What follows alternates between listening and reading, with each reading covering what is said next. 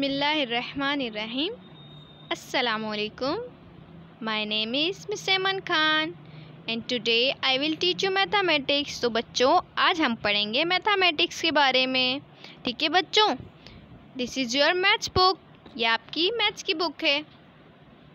बच्चों, आपको याद है हमने मैथ्स में सबसे पहला नंबर कौन सा पढ़ा था? हमने मैथ्स में सबसे पहला नंबर पढ़ा था ज़ीरो का।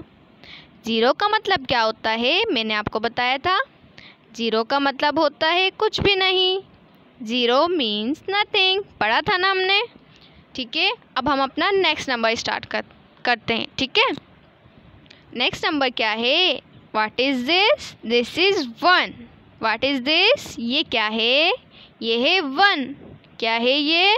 वन कोई भी एक चीज़ होती है, उसे हम कहते हैं वन। जैसे कि आपके पास एक पेंसिल है तो यू हैव वन पेंसिल। इसका मतलब है आपके पास एक पेंसिल है। इसी तरीके से ये क्या है? What is this this is flower और फ्लावर कितने हैं? फ्लावर वन है है ना?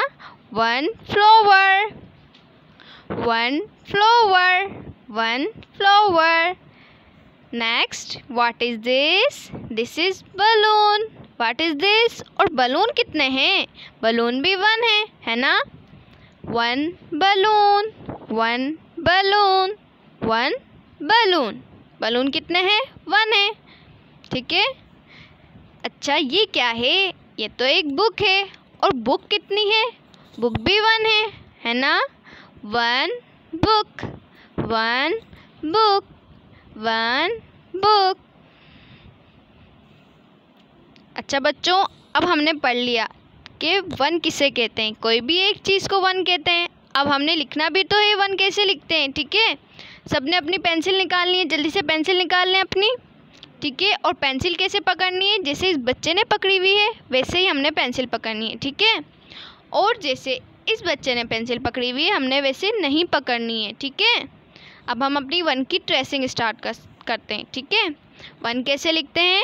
हमने क्या ले, करना है? हमने बिल्कुल स्ट्रेट लाइन लगानी है इन डॉट पर। तो ये क्या बन जाएगा? ये बन जाएगा one what is this this is one हम दोबारा ट्राई करें, ठीक है? तो बच्चों, हमने क्या करना है? यहाँ पर एरो नज़र आ रहा है सबको, ठीक है? एरो से हमने बिल्कुल स्ट्रेट लाइन लेनी है। और क्या बनाना है? One. What is this this is one what is this this is one ठीक है बच्चों? तो हमने आज क्या पढ़ा? हमने वन के बारे में पढ़ा। ठीक है? वन किसे कहते हैं? कोई भी एक चीज़ होती है, उसे हम वन कहते हैं। One elephant one elephant one elephant ठीक है बच्चों? Stay safe, stay at home. Thank you so much.